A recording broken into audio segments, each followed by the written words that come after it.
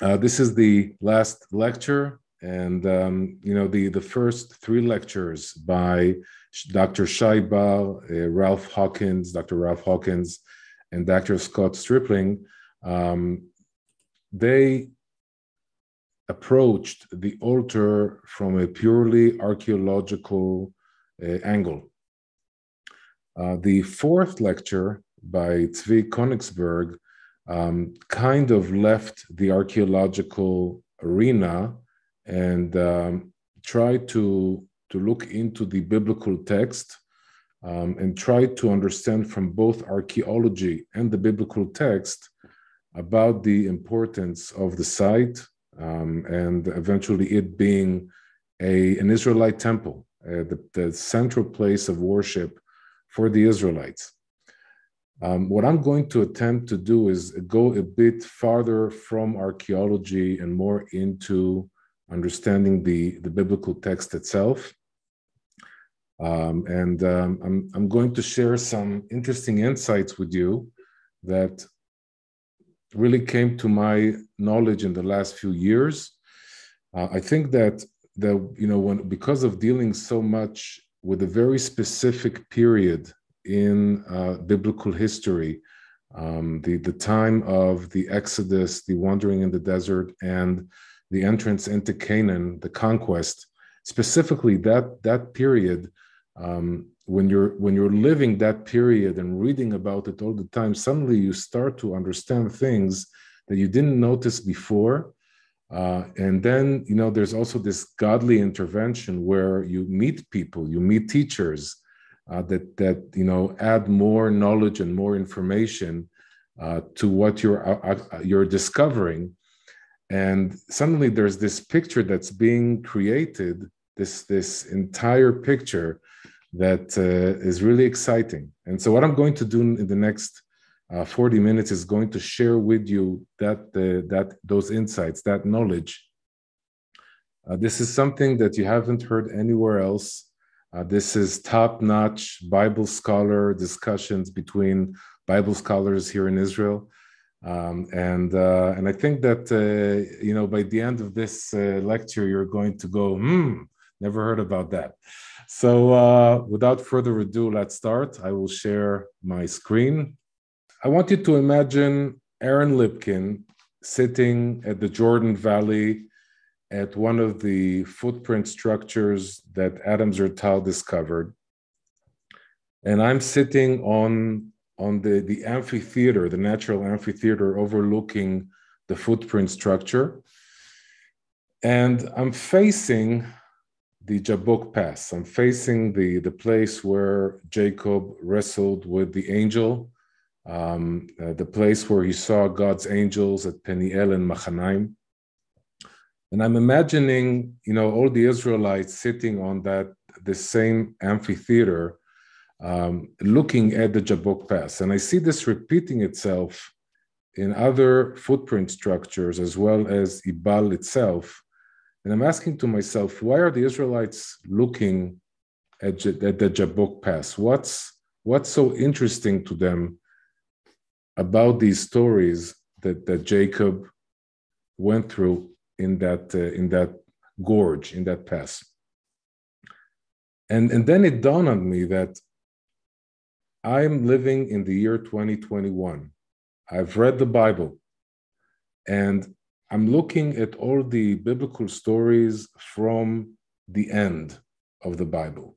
Um, you know, I, I, I know Jerusalem. I know the second temple in Jerusalem, the, the, the, first temple, the second temple. I know the exile to Babylon. I know the destruction of the, the uh, northern kingdom by the Assyrians. But when the Israelites are coming into the land of Israel, when they're wandering in the desert, when the Israelites are in Egypt, they don't know all of these things. This is something that is way in the future, hundreds of years way in the future. And so the Israelites in Egypt, the Israelites in the desert, the Israelites conquering the land of Israel have a certain knowledge, they have a certain theology, a certain understanding of, of history that is not shared by people who live today. Uh, for us, it's all this big salad uh, that it's that is glued together. And so what I'm going to do now is I'm going to dive with you into the Bible and try to unglue all these all these uh, uh, stories that we know today as, as Bible believers, as Bible scholars, and try to, after ungluing and, and you know, separating all these elements, try to, to concentrate on the period of the um, Exodus to Mount Ebal. Who are the Israelites? What are they believing in? What's what what are their what's their motive? Um, all of these things uh, we will discuss. So let's start first with our father Abraham. Um, we all know that uh, there is a covenant of the pieces in Genesis 15. And uh, Abraham is promised something. He's, he's promised as, as follows. Um, this is verse 13. Then the Lord said to him, Know for certain that for 400 years your descendants will be strangers in a country not their own, and that they will be enslaved and mistreated there. But I will punish the nation they serve as slaves, and afterwards they will come out with great possessions. And so here we have a, a prophecy that's given to Abraham. Um, Abraham is given a, a, a, view into the future that his descendants will go, will be exiled, will be enslaved. And after 400 years, they will leave the, the enslaving nation with great possessions. Um, this prophecy went on to Isaac and Jacob and the, the, the, the, the descendants of Jacob in Egypt. This is the prophecy that held them. This is the prophecy that gave them uh, hope uh, that, that one day they will uh, leave uh, Egypt and become again a free people in their promised land. I want to just to point out that there's something missing in this prophecy. We obviously have the 10 plagues possibly even the uh, the uh, uh, uh, putting a part of the the, the uh, Red Sea. But uh, there's something missing in this prophecy. We don't see Mount Sinai. Abraham is is promised many promises here, but there's one promise that doesn't appear here. God is not saying to Abraham after they will go out with great possessions, I will take them to a mountain and give them a religion, give them laws. It's not written in this prophecy. I want you to remember that because I'm going to uh, discuss it in a few moments. Um, so the next uh, stage is obviously uh, Jacob. Jacob is um, um going down to Egypt. This starts uh, the fulfillment of the prophecy given to Abraham. Uh, Tzvi Koenigsberg uh, last week discussed this picture, the picture of the blessing of Ephraim and Manasseh. Um, we have to understand that at this period, Joseph is a prince of Egypt. He is married to Egyptian royalty, Osnat, the daughter of uh, the priest of On. Um, Ephraim and Manasseh are probably uh, Egyptian royalty as well. Egyptian princesses, um, and uh, and they received this blessing from Jacob. This picture starts the prophecy that was given to Abraham uh, that ends with the story of the Exodus um, and the story, the, the, the period that the Israelites are in Egypt. Now, the length of time the Israelite people lived in Egypt was 430 years at the end of the 430 years, to the very day all, all the Lord's divisions left Egypt. So all of this you know very, very well, I'm sure. Uh, this, this is the, the basics of the basics. So again, the question I, I, I want to ask is the following. We've been reading this for many years, and there's one question that arises, and that is, what happened from the end of the book of Genesis to the beginning of the book of Exodus. In other words, the Israelites are in Egypt for 430 years, according to the Bible, yet the Bible doesn't give us a lot of information about that period. Now, this is this is very problematic. Okay, um, what do we know from the Bible about the 430 years in Egypt? All we know is that there's a first period of good time, favorable Egyptian rule during the during and after Joseph's reign. Um, the second period is not a good period. It's a bad time. There's a new king. Israelites are regarded as enemies of the state. There's a massacre of children, a Holocaust, and slavery. This is eh, this is all we know about 430 years. That's that's a very long time. I'm sure that many things happened there, very important things that are not mentioned. Um, and the, the second question I have is the following: When we when we read the Bible, we we the the uh, the flashlight, the the the main light focuses on the Israelites in Egypt. What's going on in Canaan? Is there a, a total disconnect between the Israelites living in Egypt and the land that was promised to them? Uh, what about Hebron? What about Shechem? What about Bethel? All these sites that are so important for the Israelites. Um, then, and I think that the basic question that we need to ask is Is the Bible a history book? Because when you read history, a history book, the history book gives you a, a complete picture of everything going on at a, say, at a, at a certain period. And if the Bible is a, a book of history, then a gap of 430 years is historically unbearable. Uh, it's, it's not possible to, to have a history book that suddenly, you know, almost for 500 years disappear. Um, that's, a, that's, that's a problem. So, you know, I'll give you another example. King Josiah uh, later on dies at the hands of uh, Paro Necho, Pharaoh Necho. Um, the Bible doesn't explain exactly what was Pharaoh doing in the land of Israel uh, at the time, but from uh, um, external sources, we understand that there was a world war going on between Egypt and Assyria, and the Egyptians were coming to aid. Uh, sorry, between Egypt and Babylon, and the Egyptians were coming to aid the Assyrians.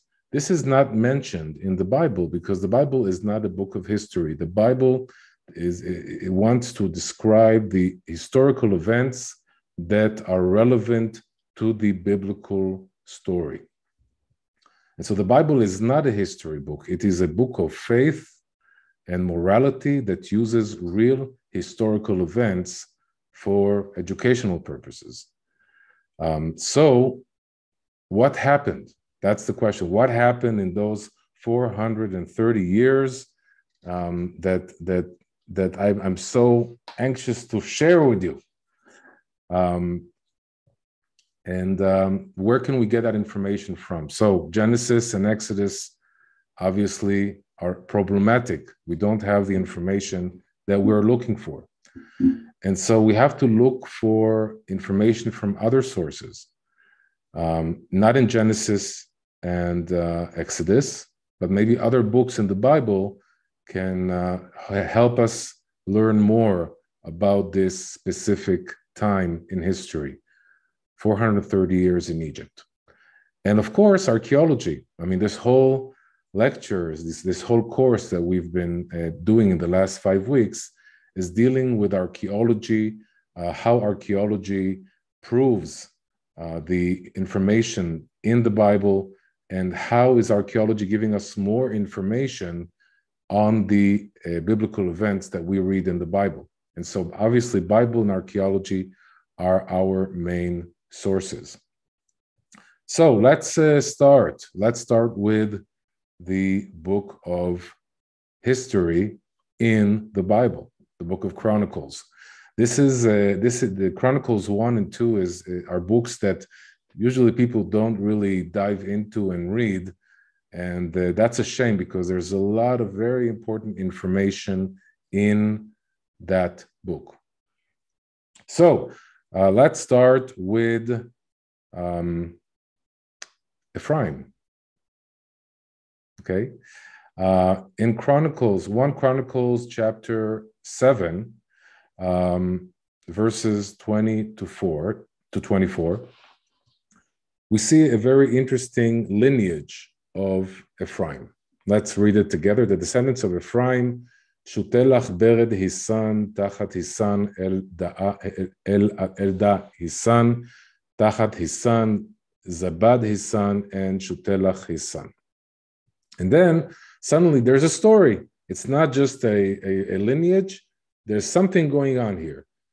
Ezer and Eliad were killed by the native born men of Gat when they went down to seize their livestock. Okay, so we have children of Ephraim. Again, I'm stopping here for a second. In our minds, Ephraim and Menashe are in Egypt. Okay, this is Egypt. Here we read a story about the children of Ephraim that are being killed by um, the people of Gat. Now, Gat is a, a, a city in Canaan, it's not in Egypt. Furthermore, it says that they went down to seize their livestock. Uh, did they leave Egypt to take their livestock from Canaan or something else? Usually, when you go down, it means you leave Canaan, you leave the land of Israel. Um, and, and so, therefore, I believe that from what I understand here, they actually lived in Israel. But if I'm mistaken, uh, it doesn't matter. They, they the, the children of Ephraim are walking in Israel. They're walking in Canaan they're, they're doing stuff in Canaan. And this is something that we didn't hear from Genesis or from Exodus. Let's continue on. Um, their father Ephraim mourned for them many days, and his relatives came to comfort him. Then he made love to his wife again, and she became pregnant and gave birth to a son. He named him Beriah because there had been misfortune in his family. His daughter was Shira, who built lower and upper Bet Horon as well as Uzen Sheera. Okay, I'm stopping you here for a second because this verse is revolutionary, because we are hearing that not just uh, uh, the, the, descendants of Ephraim got killed in the in Canaan um, because they had some uh, quarrel with the people of Gat, but that the daughter of Ephraim, or possibly his granddaughter, is building cities or villages in Canaan. Again, I'm, I'm, stopping you here for a second. This is not something that we know from Exodus or Genesis. The descendants of Ephraim are building villages and cities in Canaan. And actually, um, lower and upper Bet Horon are very well identified with uh, two Arab villages today, and I will show you in a minute. Let's continue. Refach was his son, Reshef his son, Telach his son, Tachan his son, Ladan his son, Amihud his son, Elishama his son, Nun his son, and Joshua his son. So suddenly here we read about Joshua, Joshua that we know, Joshua bin Nun. Some Bible scholars reading this verse are theorizing that this whole story that we're reading right now is happening in Canaan. And so they also conclude that even Joshua bin Nun was born in Canaan. Now, I know this is for you something that that is, is weird. It doesn't say anywhere in the Bible where Joshua was born, Um, it doesn't say that he was born in Egypt. Uh, he suddenly springs up after the Israelites leave Egypt. But according to Chronicles 7, Joshua bin Nun is part of a story that the majority of is happening in um, the land of Israel. This ends with another interesting segment. Their lands and settlements included Bet-El and its surrounding villages, Naaran to the east, Gezer and its villages to the west, and Shechem and its villages all the way to Ayah and its villages, along the borders of Manasseh, where uh, Bet She'an, Taanach, Megiddo, and Dor, together with their villages, the descendants of Joseph, son of Israel, lived in these towns. I'm stopping here for a second. This the I I I made a certain line bold because there's a problem here. When we read the conquests of uh, uh, uh, Joshua, the conquests in the book of Judges, there are places that are mentioned, but there are places that are not mentioned. And the city of Shechem is not mentioned as one of the cities that Joshua conquered. However, when we read the Bible, we see that Shechem is a very important city in the book of Joshua, not just because of Mount Ebal and, and Joshua's altar. Uh, at the end of the book of, of Joshua, Joshua makes a big ceremony uh, at the, the, the, the, the temple of Shechem. Shechem is a major city. Shechem is the place where Joseph is buried. Yet Shechem is not conquered. Another thing that we need to, to see here is that um, the, the name Ayah, which is identified with Ai, the second village, the second city that Joshua conquers. Uh, so Shechem and Ayah are in the borders, in the tribal land of Ephraim. So this is also very interesting. Let's look at the map for just, just to get an idea of what we're talking about. Uh, in the upper part is Shechem. Shechem is on the border between um, the tribe of Manasseh and the tribe of Ephraim. Ayah is in the area of Bet El. Um, and so these cities that, that I mentioned right now were not conquered um, uh, this, the, the city of Shechem was not conquered. Another city that was not conquered is Shiloh. Again, Shiloh is a very important city in the book of Joshua, the book of Judges, yet there's nowhere in the Bible where it says that Joshua and the Israelites conquered Shiloh. How can that be?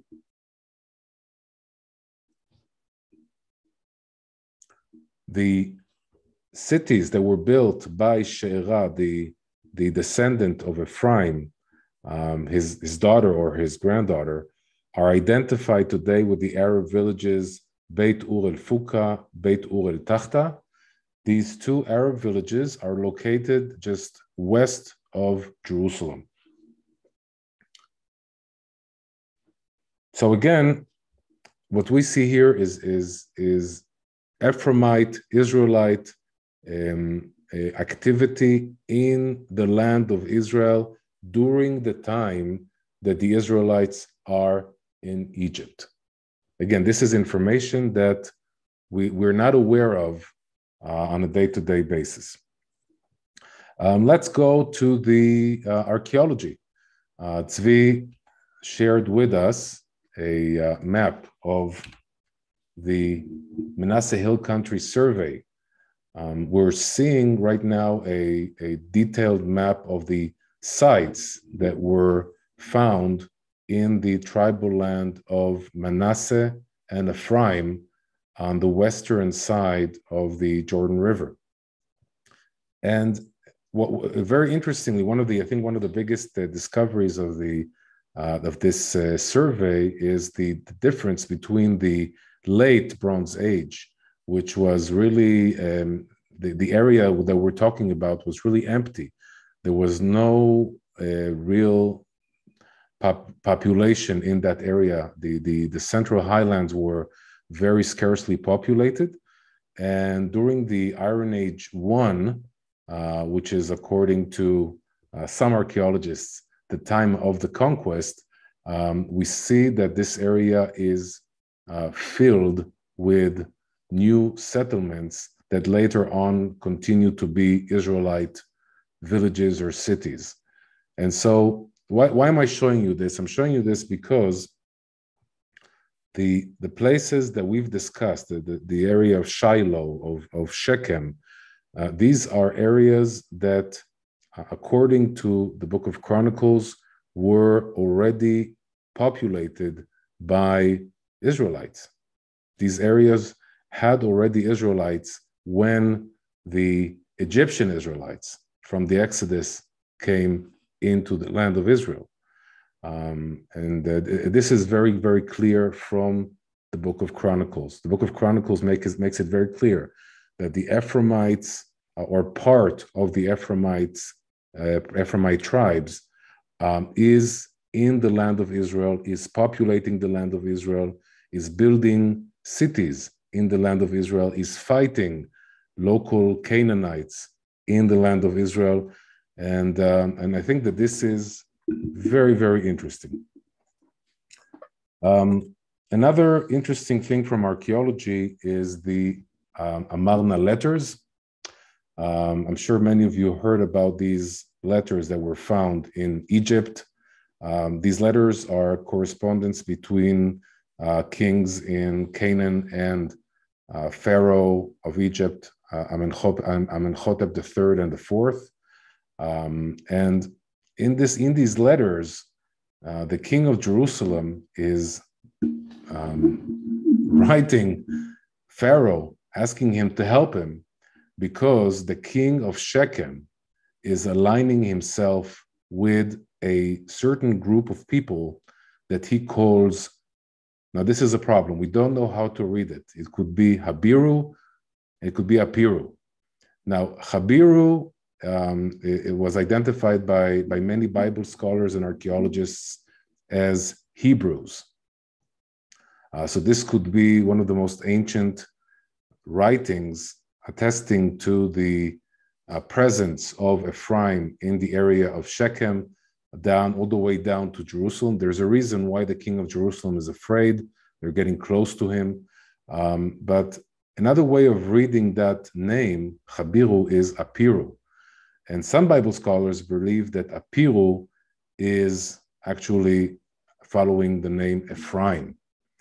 Uh, so this is also an interesting archaeological uh, um, um, artifact that could help us uh, attest to the presence of Ephraim um, in the area of Shechem. Let's look at at a uh, at a at Menashe. Um, so we know we, we we just finished with the Ephraim. Let's talk about Menashe. Let's go again to the book of Chronicles. The descendants of Menashe. Asriel was his descendant through his Aramean concubine. She gave birth to Machir, the father of Gilead. So immediately what we see here is a very interesting connection between Menashe, the oldest son of Joseph, and the descendants of Menashe and the area that is known as the Gilead Mountains. Um, the there's also a, a, I would say, a diplomatic relationship here with an Aramean concubine, which is again the area of the Gilead Mountains northward. There's some connection between Manasseh and the Gilead Mountains. Uh, Machir took a wife from among the Huppites and Chupites. Chupites, his sister's name was Ma'acha. Uh, it goes on uh, uh, describing the rest of the descendants of uh, Menashe. And it ends very interestingly again with a, a uh, an emphasis on Gilead. Uh, there, these were the sons of Gilead, son of Machir, the son of Menashe, etc. And then we see that the descendants of Menashe, um, some of them have the names of the ancient cities in Canaan, Shechem. Now, is there anything here in Chronicles that, that says that the area of Gilead, the, the Gilead Mountains, were uh, inhabited or populated by descendants of Menashe? No, it doesn't say this clearly. But there are a lot of problems that are coming out from the biblical text that we know in the Pentateuch. Um, but first of all, let's understand the maps. So on, on the left, we see a map with the tribal lands of Menashe. We have a, a, an area to the west and an area to the east. Let's concentrate on the area to the east. Uh, it ranges from the Jabbok River uh, all the way up to the Golan Heights, or um, also known in the Bible as Bashan. Um, and to the right, we can see the uh, the tribes, the two and a half tribes that uh, inhabited the eastern bank of the Jordan River: Reuben, Gad, and half tribe of Menashe. Now, there's always a question that I like to ask people. It's a trick question. I ask them, which tribes asked Moses to stay behind? Which tribes asked Moses to stay on the eastern bank of the Jordan River? So obviously, everybody says, well, that's easy. It's Reuben, Gad, and the half tribe of Menashe. And then I say, wrong. Um, and this is, I think that this is one of the biggest uh, riddles uh, when we when we talk about the uh, the uh, spreading the, the partition of the land among the tribes. Because when you look at the bible you see something very interesting. You see that the tribes that ask moses to stay behind are reuben and gad. Moses is angry at reuben and gad and uh, uh, and blames them for sinning just like the spies Reuben and Gad promised Moses that they will go first into the land and conquer it for the Israelites. And only after the land is conquered, they will go back uh, to the lands that Moses will give them on the eastern bank of the Jordan River. Moses is content and he gives Reuben, Gad, and the half tribe of Menashe the lands to the east of the Jordan River. Even though the, the tribe of Menashe did not ask to stay on the eastern bank of the Jordan River. Something is wrong. You understand? There's there's there's something that's missing.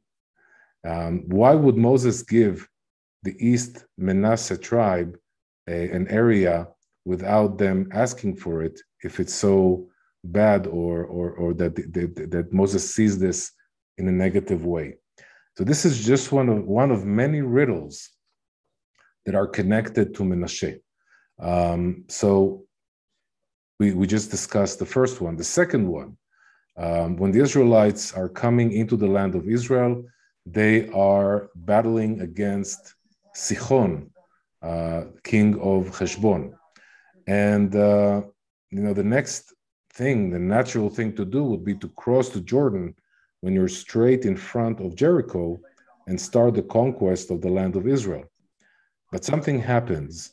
The Israelites are not heading westward into Canaan, they're heading northward to wage war against Og, king of Bashan, and uh, uh, uh, liberating the Gilead mountains and the Golan Heights. Why are the Israelites doing that? Why are, are they going up north uh, to battle against Og? There's really no reason. They just go up north and conquer. Uh, the Bible doesn't give us a clear explanation about that. Again, the Bible is not a history book. The Bible just describes certain historical events that are relevant to the biblical message. But the questions marks, the question marks exist. Why is why is this going on? Why are they going to conquer um, those areas? Another riddle. Uh, there are two countings of the Israelites on, on the slopes of Mount Sinai and at the plains of Moab just before entering the land of Israel. Uh, the numbers of the tribes are the same numbers in both censuses, which is very interesting. And uh, apparently, what the Bible is trying to convey is the death of the generation of the desert according to God's promise. But there are two tribes that experience changes in their numbers. The first tribe is Simeon. Simeon is losing a lot of people. Uh, apparently, it's because of the sin of Baal Peor, uh, when the head of the tribe of Simeon uh, sins with the, the, the Midianite woman. The second tribe that experiences a very uh, um, big change is the tribe of Manasseh. The tribe of Manasseh um, adds 20,000 people to their number. Um, and again, this is something that is, is unique only to the uh, tribe of Manasseh. The question is why? Why is this happening? Why is this? Is there an, in addition such an addition to uh, the tribe of Manasseh? Let's continue on with the riddles. When we later on read about the story of Jephthah, the uh, judge, uh, we read that there is a, a, a uh, war amongst the tribes between Ephraim and Menashe. And uh, one of the ways uh, of, of uh, differentiating between the people living in the Gilead Mountains, uh, which is the tribal area of Menashe, and the people of Ephraim living on the western bank of the Jordan River, is the dialect. apparently, the Israelites from the west cannot uh, uh, say the word uh, shibolet. They say sibolet. That's how it's written in the Bible. Some Bible scholars believe that it's actually not the difference between sh and s, but rather between sh and th. Uh, I don't know if you've heard Israelis talk a lot, but uh, uh, for example, when an Israeli says, I think, he doesn't say I think, he says I think, because the uh, the sound, the th, doesn't exist in Hebrew. Um, and so you see the same thing repeating itself um, thousands of years ago, because some Israelites could not uh, uh pronounce the, the, the, the, the sound th, th. So, in other words, the people in the Gilead have a different dialect. They, they, they speak differently than the people in the West. Um, why is that? Why, why, why is there an area that has such a difference in pronunciations? If all the Israelites came out of Egypt together, they all spoke the same language uh, for hundreds of years. Why is there such a difference? Um, another uh, another interesting thing is the fact that four room houses that uh, Dr. Ralph Hawkins discussed in his lecture, which is one of the very clear attributes of Israelite cities and, and places of dwellings. Um, four room houses were also found in the eastern bank of the Jordan River, um, in the area of Edom, Moab, Ammon, and northward. Uh, these areas have Israelite dwellings in them. Um, and this really corresponds with the, the, the, settlement of the three tribes, Reuben, Gad, and the half tribe of Menashe.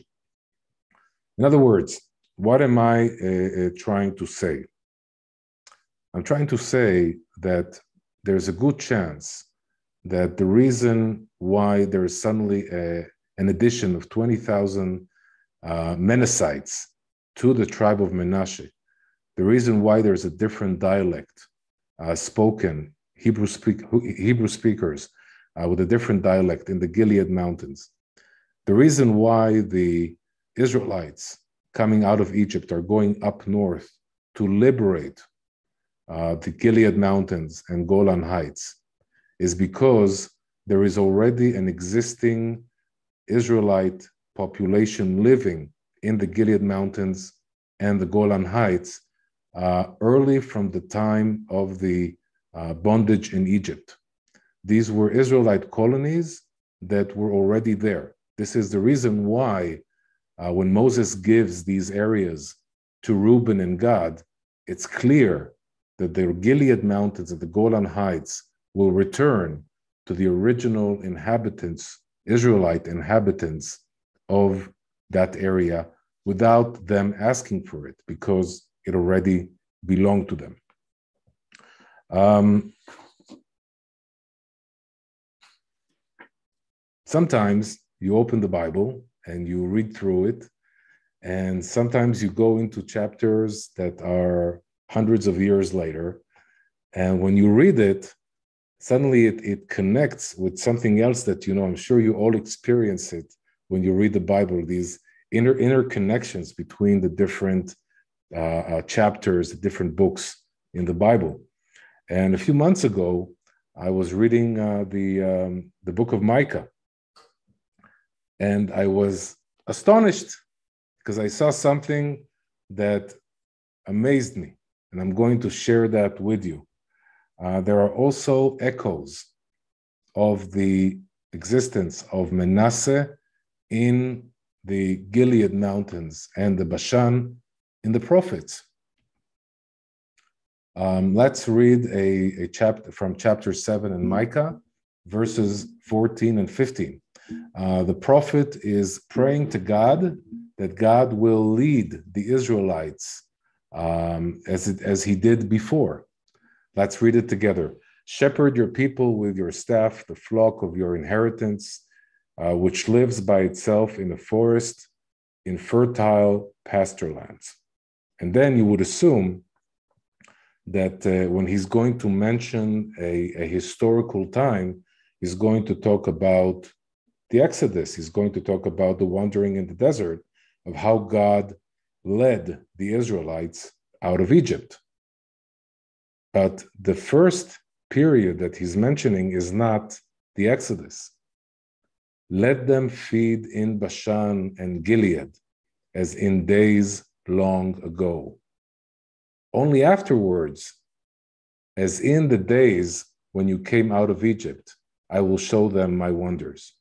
And so, before the Exodus, there's another time period, a long time ago, that God led Israelites in the Bashan and Gilead. So there's also an echo of the Manassite uh, existence in the uh, the uh, uh, land of Israel on the Ephraim on the west and Manasseh on the east. And, uh, and let's just summarize it until now because I'm running out of time.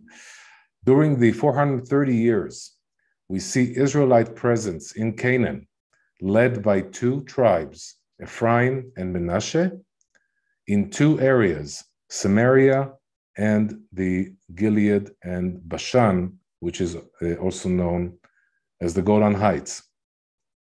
Now, let's stop here for a second. What do we know about the theology of these native Israelite tribes living in Ephraim and the tribal lands of Ephraim on the west and east of East Menashe. Well, very clearly, the theology of these tribes is the theology of the patriarchs, the theology prior to Mount Sinai. Let's just mention the few things that we know for sure. It's a monotheistic theology. Um, the uh, main heritage is the stories of the patriarchs. Um, the, the sites that the patriarchs visited are the holy sites Beersheba, Hebron, Rachel's tomb, Bethel, Shechem, the Jabbok Pass, which I mentioned earlier, Machanaim, Peniel. What are the um, uh, uh the uh, uh, uh, I would say the laws that they keep? For example, circumcision that was commanded to Abraham uh, not eating the tendon attached to the socket of the hip, which is something that comes from Jacob. It says very clearly in this in that story that the Israelites don't eat uh, the tendon uh, because of this story. Uh, we see the story of Judah and Tamar and the Levirate marriage. Uh, this is also something that is prior to Sinai. These are um, uh, traditions, these are um, um, customs that are being uh, um, uh, done by the these early Israelites. It's not just Ephraim and Manasseh in Israel. The Israelites living in Egypt would have also kept these laws because that's before Sinai. Another thing that we that that's interesting is that if uh, we have Israelite tribes living in Samaria and the Gilead Mountains, um, they are um, probably still um, sheep herders, but uh, because they're also dwelling in, on land, they they surely have agricultural, uh, uh sure ha- surely have an agricultural background, uh, and this is something that uh, is very interesting. We see the story of uh, the concubine in the book of Judges. There is a feast of the Lord in Shiloh, uh, the 15th day of the month of Av, which celebrates the harvest of the grapes. Uh, this is not a feast that's commanded by God uh, in Mount Sinai. This is a, an agricultural feast that is definitely a, a, a, religious feast. It's called the Feast of the Lord but it's not from Sinai, and it's agricultural, and it's celebrated in Shiloh in the tribal land of Ephraim.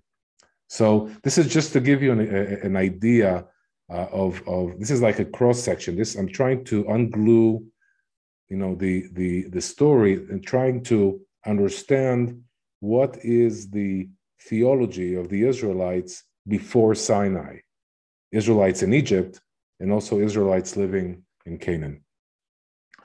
Um, okay, so now we're leaving Egypt.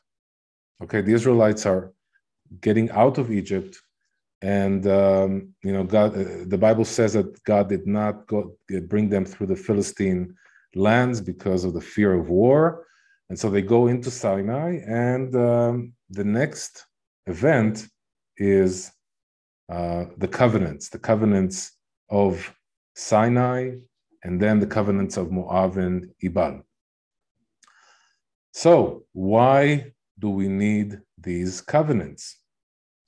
This question is, uh, is, is very important. Let's, let's dive again and see exactly what are the, those covenants. We have the covenant of Sinai. Um, uh, we have the covenant of the plains of Moab just before entering into the land and we have the covenant of Mount Ebal, which is not called a covenant uh, per se, but ha- has all the uh, requirements needed to be acknowledged as a covenant. The word covenant does appear in the covenant of Sinai and in the covenant of Moab. Why is there a need for these three covenants? Um, do you recall that Abraham was given a prophecy. The prophecy was that his descendants will go into a foreign land, they will be enslaved, and God will bring them out with great possessions. There was no talk of any covenants, of laws, of Sinai. This did not appear in the promise to Abraham. Let's start with the first covenant, the covenant of Sinai. Um, Before the Israelites arrive at Sinai, Moses receives a revelation. God appears to Abraham and uh, he says something very interesting. He says, God also said to Moses, I am the Lord. I appeared to Abraham, to Isaac, and to Jacob as God Almighty, or in Hebrew, El Shaddai. But, by na- but my name, the Lord, I did not make myself known to them. Now, again, if you connect this to um, what I said just earlier about the pre Sinaitic uh, theology of the Israelites, uh, the name uh, uh, uh that appears here, you know, Jews cannot say the uh, the, the, the name of, of the Lord, but you, you all understand what I mean. That name, the name of the Lord, was not known to them. They knew God as El or El Shaddai. This is how the Israelites in Egypt, this is how the Israelites in Ephraim and Menashe uh, knew God. That was that was the name that they knew. That was the name that they used. By the way, I'm just stopping here for a second. When Joshua uh, first appears in the Bible, his name is Hosea. Moses changes Joshua's name into Joshua. In other words, he applies the name of the Lord to Joshua's name. Okay? I hope that by the end of this uh, lecture, you'll know, you can tell me why.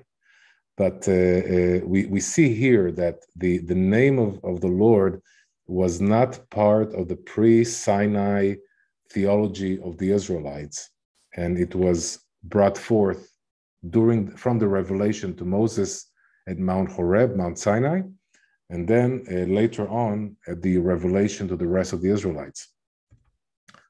Uh, I'm going to go a bit faster because uh, we're running out of time. Uh, another thing that we that we that we can see is the the following verse. This is something that uh, my rabbi shared with me when I was a, a young man in my 20s. Let's read this uh, paragraph. So Moses went back and summoned the elders of the people and said before them all the words the Lord had commanded him to speak. The people all responded together, We will do everything the Lord has said. So Moses brought their answer back to the Lord. The Lord said to Moses, I'm going to come to you in a dense cloud so that the people will hear me speaking with you and will always put their trust in you.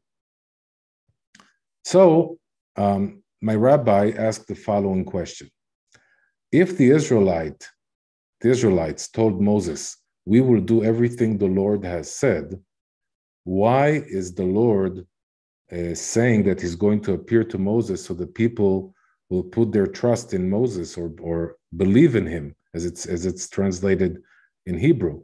Uh, if they will do everything the Lord has said, then um, then there's no reason to appear to Moses because they already believe in what Moses is saying. So, uh, my rabbi, following other Bible commentators, is saying the following The Israelites are not saying, We will do everything the Lord has said. They're saying to Moses, We will do everything the Lord has said. In other words, we are going to follow the prophecy of Abraham that we're going to be taken out of Egypt and brought to the land of Israel. There's no, there's no theology on the way. There's no Torah, there's no laws. This is not part of the process promised uh, to Abraham by God. So God appears to um, Moses and to the Israelites for the Israelites to believe in Moses and in the theological and spiritual uh, uh, message that he's going to bring down from Sinai. And the question is, why is God doing Sinai? So we answered one reason is for the Israelites to believe in Moses, to put their trust in Moses, that he's not just a national leader leading the Israelites out of Egypt, but he's actually a religious leader, also bringing a, a prophet, bringing God's word to the Israelites for them to keep. What are the other reasons why we need Sinai?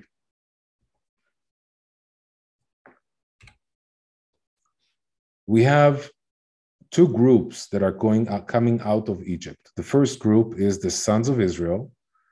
The second group is the multitudes. We have to remember that the Exodus, the miracles of the Exodus, the miracles of uh, the parting of the sea, uh, these are all huge events that affected not just the Israelites who saw God's works, but also multitudes, other nations that were in Egypt that um, were amazed and believed in the God of Abraham, Isaac, and Jacob because of these miracles. They were looking for a religious um, message, they were looking for a God to follow. Um, and um, and so we see we have these two groups, these two populations that need to be brought together under one covenant to be made one nation. And so the covenant of Sinai is uh, also a way, a method to bring both groups together uh, to a cohesive nation. The covenant of the plains of Moab. Well, the obvious reasons why it was uh, uh, done is renewing the covenant before entering Canaan. Uh, don't forget, 40 years have passed since Mount Sinai. There's a need to refresh the messages of Mount Sinai, um, obviously atoning for the sin of Baal Peor with the Midianite girls. I would like to add two more reasons. Uh, reason number one is the Manassite tribes living in the Gilead Mountains and the Golan Heights, which were just liberated. They need to be, they need to come under the Sinai covenant. They need to be part of the belief in the Lord, uh, the, the, the, the, to perform all the laws and decrees that God gave in Mount Sinai. There is a need to not just unify the Manassites together with the Israelites coming out of Egypt, but also bringing Menashe under the Sinaitic covenant that was given in Mount Sinai. And so there's a need for a covenant at the plains of Moab where those two groups met. And we're coming to the the, the, the subject, the topic of our uh, lectures, Mount Ebal. Uh, Mount Ebal, the, the descriptions in Deuteronomy and Joshua are amazing because let's read it. Then Moses and the Levitical priests said to all Israel, Be silent, Israel, and listen. You have now become the people of the Lord your God. Okay, this this is a, a, a ceremony that's going to make you a people. Okay, it's not just a ceremony of blessings and curses and following God and following get, getting God's blessing and and and uh, avoiding God's curses. This is a a an event that that that one of the, one of the purposes is to make them a people uh, let's read the next the next uh, uh, part in Joshua. All the Israelites, with their elders, officials, and judges, were standing on both sides of the ark of the covenant of the Lord, facing the Levitical priests who carried it. Both the foreigners living among them and the native born were there. So we have two groups at Mount Ebal that Joshua is um, uh, describing.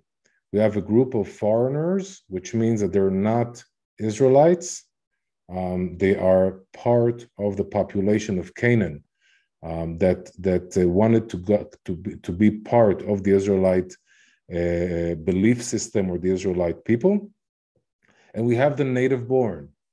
Who are these native born? Um, I say they are the Ephraimites. They are the local Ephraimite tribes that were there that again were not part of the Sinaitic religion. They they kept the patriarchs' religion, and they were they there was a need to bring them also under the uh, the uh, the umbrella of Sinai. And again, we see this this description. The, the, the, there was there was not a word of all that Moses had commanded. Joshua did not read to the whole assembly of Israel, including the women and children and foreigners. Okay, so we have a, we have many groups that need to to become one. And i believe that this is the the the the, the most important thing about joshua's altar and the ceremony at mount ebal. The ceremony of the blessings and the curses is the most important event in the bible. It unifies all the different elements of the nation of israel. It brings all the different groups under the Sinaitic covenant of the Lord. So I think that uh, just to summarize, looking back, Joshua's altar is a very important site. Joshua's altar um, is not just a one-time place or a one-time ceremony. It's a, it's a place that unifies, that brings together all the different elements of the uh, Israelite nation, and um, and it carries a very important message uh, to um, to to us uh, today, uh, a place uh, where the freedom of choice between good and bad uh, is acknowledged by all of us. That we know that there is good and there is bad, there is truth and there is lie, and that um, according that, that that we are um, responsible to make the right decisions and to uh, bear the consequences. So I want to uh, thank you. Um, I hope that you enjoyed this uh, this uh, interesting lecture. And uh, th this obviously, the story of Ephraim and Menashe is much bigger than uh, than just the, the, the, the story of Ebal it, it basically gives us a different understanding of the, the biblical text. And uh, this is something that we're going to discuss in the next uh, online courses. Uh, the, the, the first online course, the next one that we're going to do is going to be about Israelite worshiping sites in Samaria. Uh, we've mentioned the footprint structures, so we're going to discuss them in length, along with other important sites in Samaria like Bethel and Shiloh and uh, um, the the uh, the online course after that uh, is going to deal with the traditions of Ephraim and the northern kingdom as they appear in the Bible. Um, you know that uh, um, there are ten lost tribes somewhere there, but uh, they were once in Canaan, and they had a, a, a tradition. They had a way of telling stories, of writing stories they had customs, uh, they had um, holidays and events that are also mentioned in the Bible. And so this is a, this is a, a, a tradition that was lost, uh, unfortunately, but uh, we, we still have echoes in our Bible that we can learn a lot from about the, the tradition of the Northern Kingdom. So this is an, on April 3rd. And um, I hope to see all of you in the uh, next online courses. Uh, thank you so much uh, for participating and fulfilling my dream. Um, I will now attempt to uh, answer all the questions that were uh, that were asked at the chat box.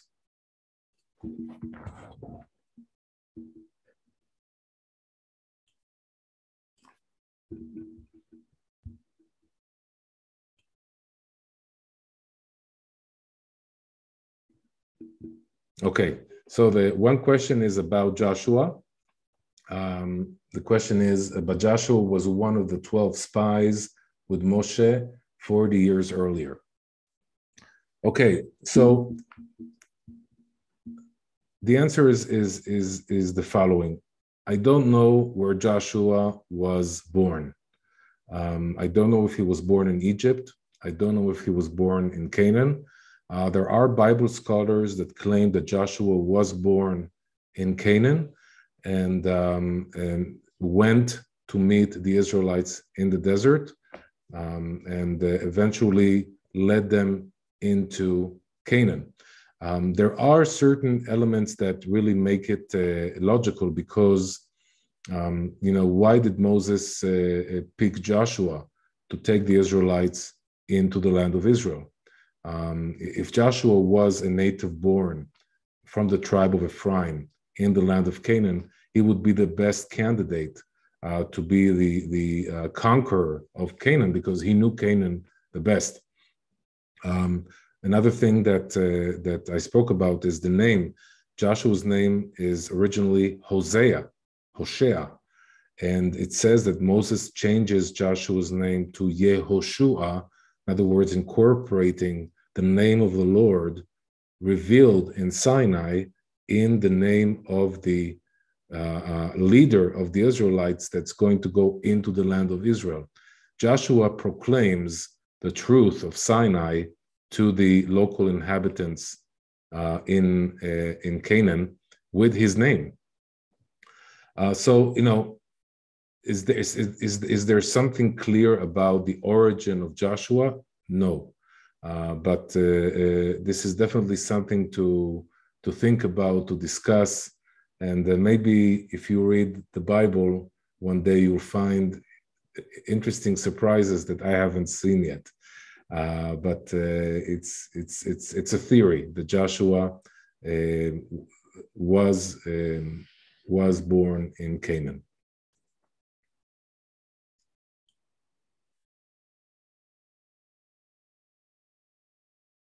I hope you are able to present this further. Yes, we will present this further. This is, again, this is a very deep uh, um, topic uh, with uh, very interesting implications to many biblical stories. Uh, the stories in, in, the book of Judges, the story of the book of Ruth, um, and the Chronicles. Uh, these, the, there's a lot to talk about, and we will discuss it uh, on that online course. Uh, so uh, stay tuned.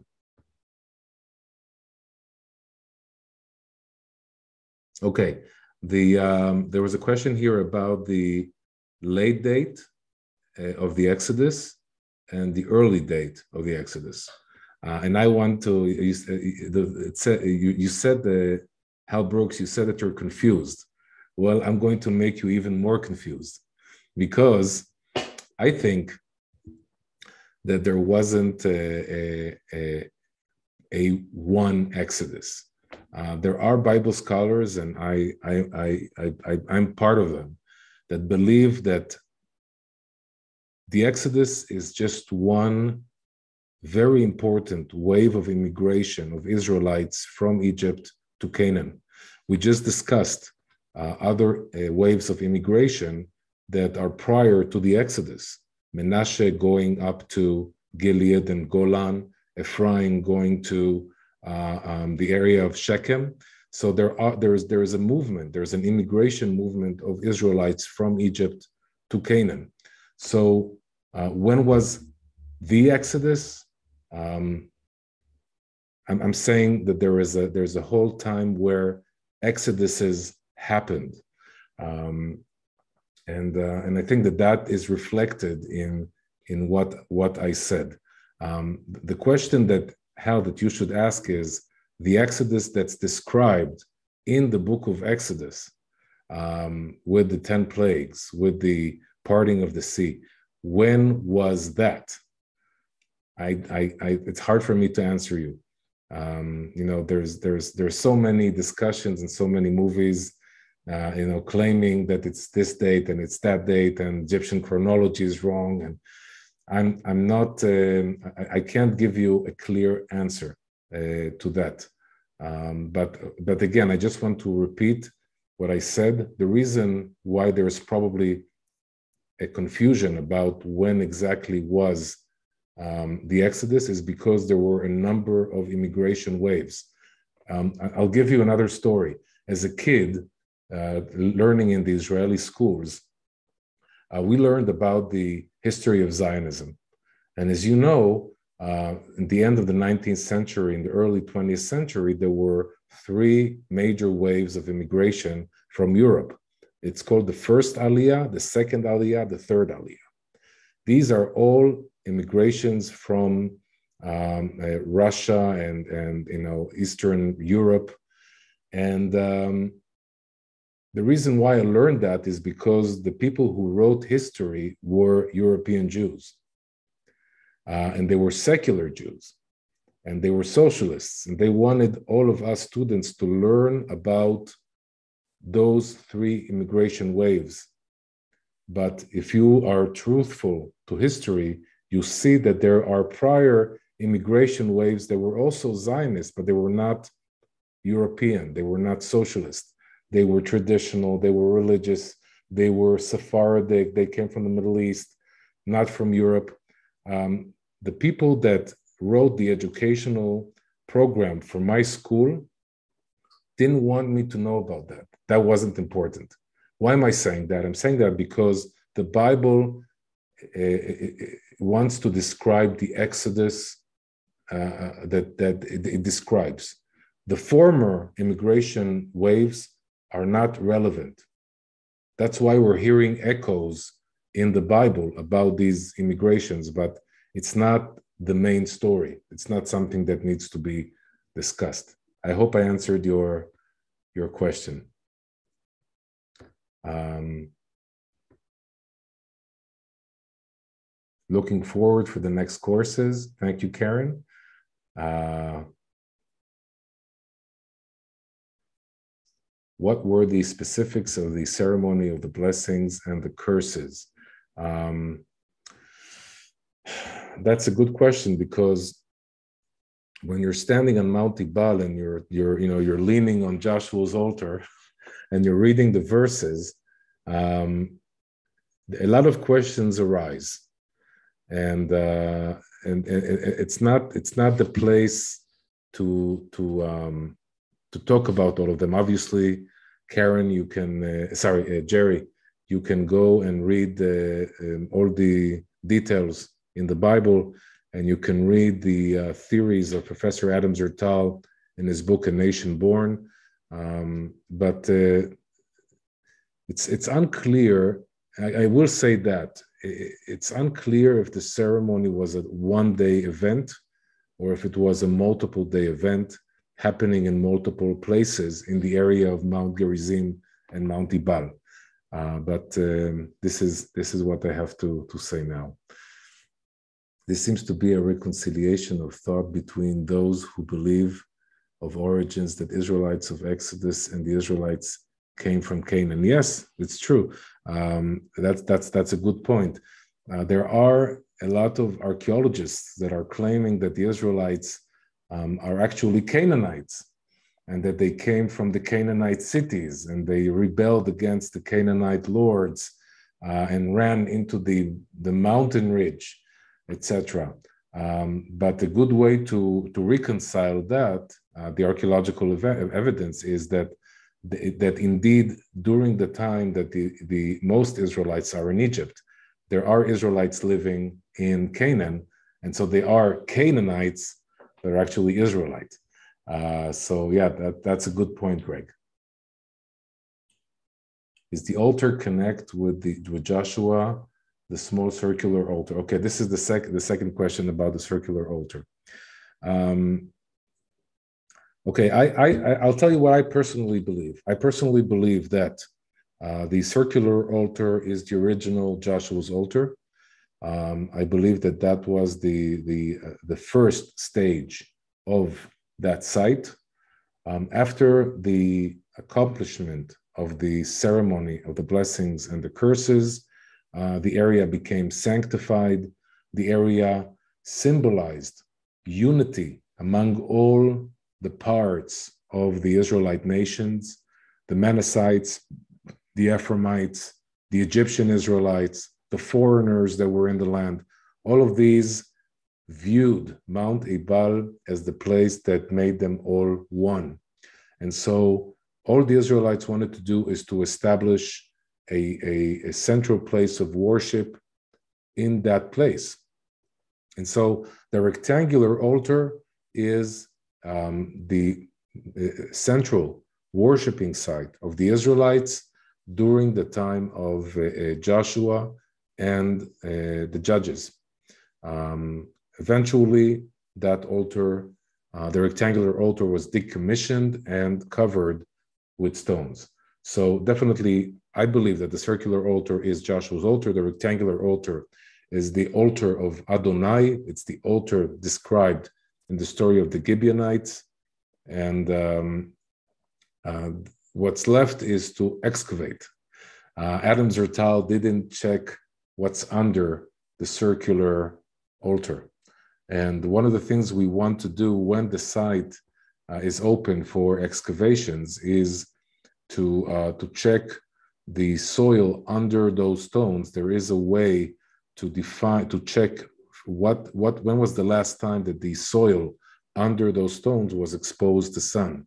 Uh, this special method will be will enable us to date uh, when the circular altar was built, and that will answer a lot of questions. Um, I'm, I'm going to answer one more sorry. uh, lots of questions, and it really makes me really makes me happy. Have you ever considered that the period of slavery in Egypt would only last 140 years from the death of Joseph until the Moses led the Exodus? Um, I I, I'm, I'm a, a, simple Bible believer. I believe in the, the numbers that are stated in the Bible. Um, there are claims that say that the, the numbers are just symbolic and that they represent uh, a certain idea or a certain uh, message, uh, like you know, number of generations and not not actual years. Uh, so you know, I don't know exactly uh, who's right. I'm, I'm, you know, I'm just, I'm just, uh, I'm, I'm, I'm just learning from everyone, and and I, I don't know, I don't have any clear view about that. Um, so, um, but what what what does interest me is the corresponding um, the the the connection between the biblical story and history and archaeology and I, I, I really want, I really believe that if there was an exodus, and I believe that there was an exodus, I believe that there were 10 plagues, I believe in everything that the Bible says. If such an event hit Egypt, there has to be a, the, a major theological shift in uh, the Egyptian thought, in the Egyptian uh, um, theology. And I, I, I am locating that change in the reign of Pharaoh uh, Amenhotep IV, or also known as Akhenaton, who um, uh, became um, sort of monotheistic um, after thousands of years of, of being pagan. Uh, he believed that there is one God, which he believed was Aton, and uh, he made the whole revolution in Egypt. Um, you know, he desecrated all the other statues he moved his capital to another place. Um, the, the, the, there was no figure of uh, his God. This God was figureless. Uh, these are all things that echo uh, what we know from the Bible. So um, this is this is my two cents. Anyway, um, I'm sorry I didn't answer the rest of the questions. I'm sure that this is a very fascinating topic. I hope you enjoyed my lecture. I hope you enjoyed this full five lectures about Joshua's altar. Uh, and again, I'm asking you to pray uh, that this site will be protected and that uh, we will be able to uh, make it accessible for tens of millions of Bible believers who want to come and connect to the Israelites, to connect to God, to connect to the biblical story. So thank you, everybody, and uh, shalom, happy Hanukkah, happy Thanksgiving to those in America, and I hope to see you all um, in the next online course. Shalom, everyone.